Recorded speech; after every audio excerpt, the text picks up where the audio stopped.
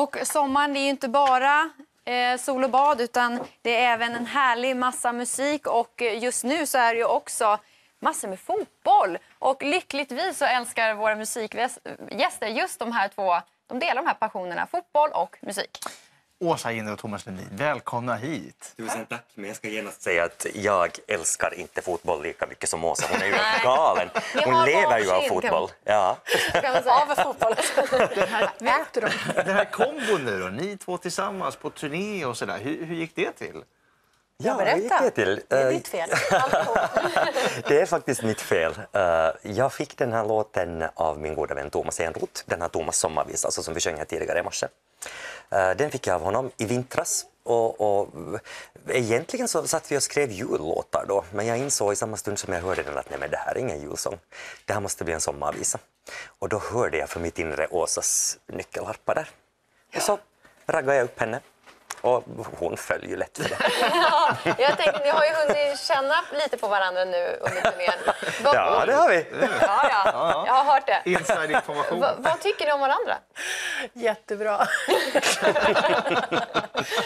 jo, men, eh, eh, jo, jag tycker jättemycket om Thomas. Vi har ju träffats förut, så jag visste vem han var när han ringde. Men vi har lätt att skratta.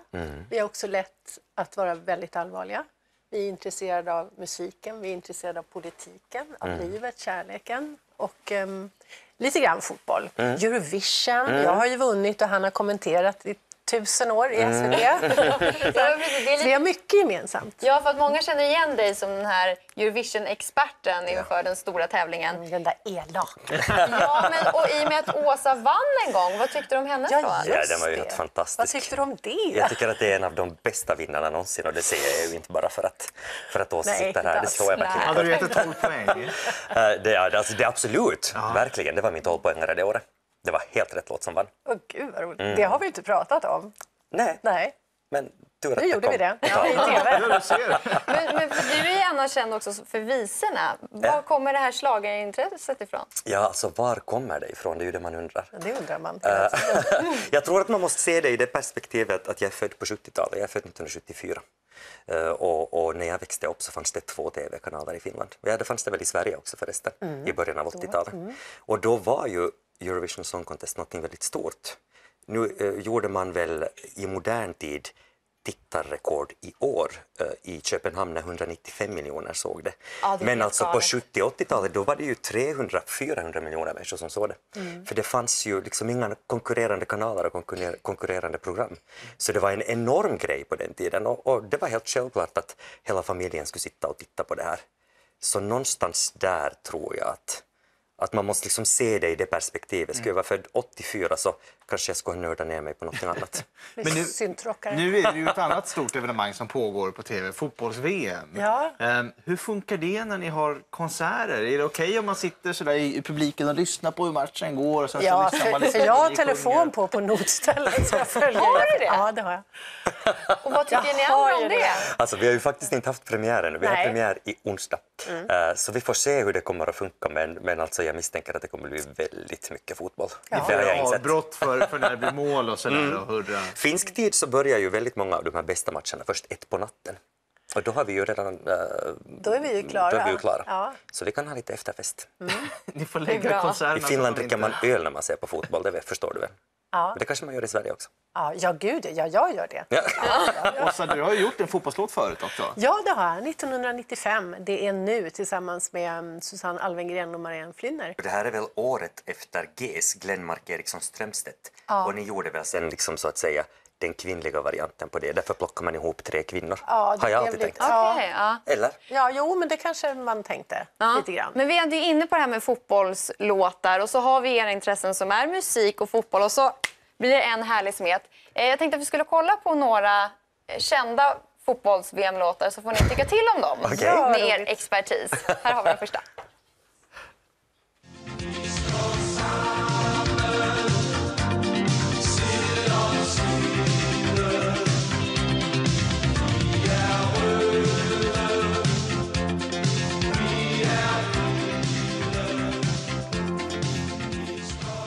Thomas, du började nynna direkt. Ja. Vad är det här för någonting? Alltså det här är ju Danmarks låt från någon gång på 80-talet. 86. 86.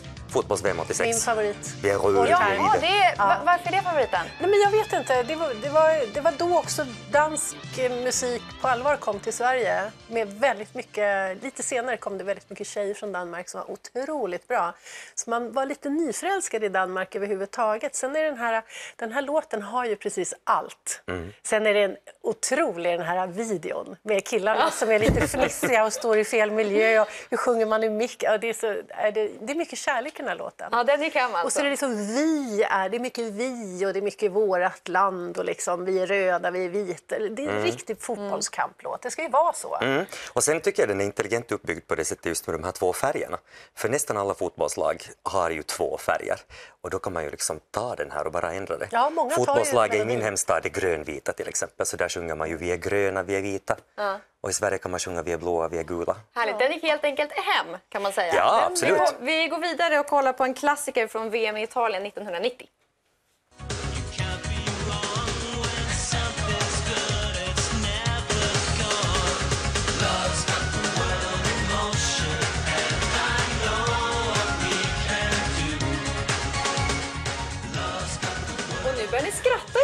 Sjunga med. Ja, men hur tänkte man Nej, men här? den, där, den där känns som de New Order fick Ja. frågan och kände liksom och då kände de att ja, men, vi ska göra det här på vårt sätt, vi ska vara lika Mm. coola som vi alltid är. Och så tog de någon låt som de hade i byrålådan och så modifierade de den lite. Det känns så, för det där är inte skapat för att skapa någon liksom vi-känsla och nu ska England. Så här.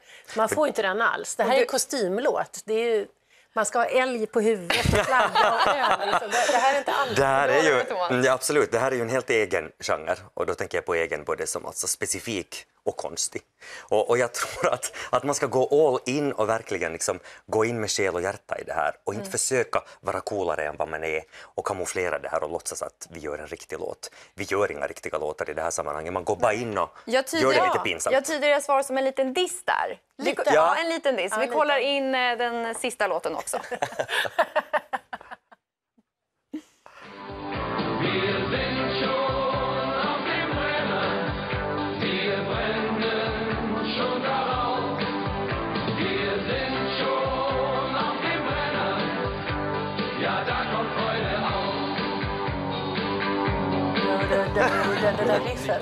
Man blir ju glad om ni skrattar och sjunger med. Och... Det här är ju alltså tysk dansbandsmusik, men jag undrar vad österrikarna tänkte här, för alltså han som sjöng där, det är ju eh, tyska, äh, österrikiska sångaren Udo Jürgens som faktiskt vann Eurovision Song Contest 1966 med Merci Chérie. Vi kan helt enkelt konstatera att det går väldigt bra att kombinera era passioner, musik och fotboll. Det blir Ja. succé. Ja, absolut. Vi är jätteglada att ni är här den här morgonen. Det blir mer musik lite längre fram med er.